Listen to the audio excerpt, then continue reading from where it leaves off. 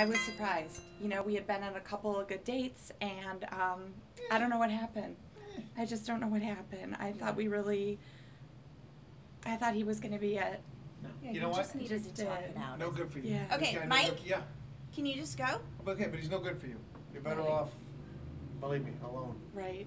Don't slap her arm. I've been married for 10 years. Yep. I mean, I just, I want that. Like, I just don't know how to do that.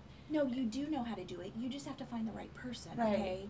Don't say that you don't know how to do it because it makes me feel like you're. Nobody knows how to do it. Let's start. Let me just say, nobody knows the secrets to anything. Nobody knows. How, you know what you know how to do? You know how to be alone, and that's a good Oh thing. Oh my god. Right. That's a good thing. Why would you don't- say that Because to it's a good thing to be alone. She doesn't want to be alone, Mike. She wants to have a relationship. Okay, but at least you know how to be alone. You know how to I not wish have you knew child. how to be alone right now. All right. Because she came over to talk.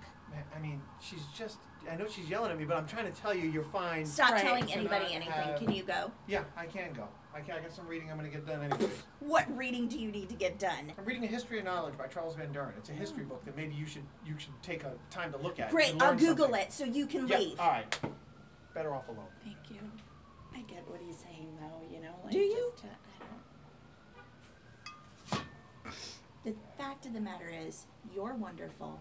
Hey, You're gonna find thank that you. right person. The fact of the matter You're is not- this, okay? I don't mean to interrupt, but here's the fact of the matter. The fact of the matter is, You do mean to interrupt. That you know what?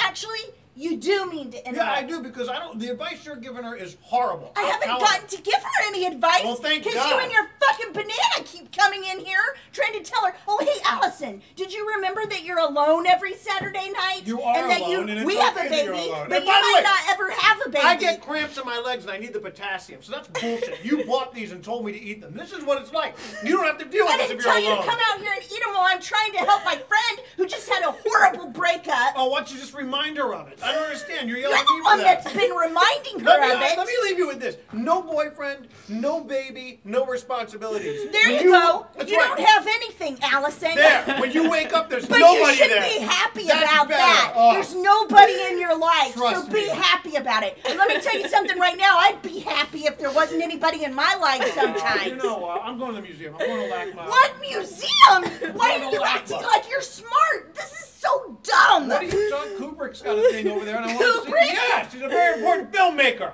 This is bullshit. You're better off not having to deal with Go somebody eat your like this fucking every day. banana, dude. You know what? At least you could eat your banana in peace because you're alone. Just cry.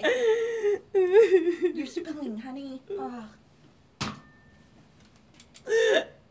Where's my backpack?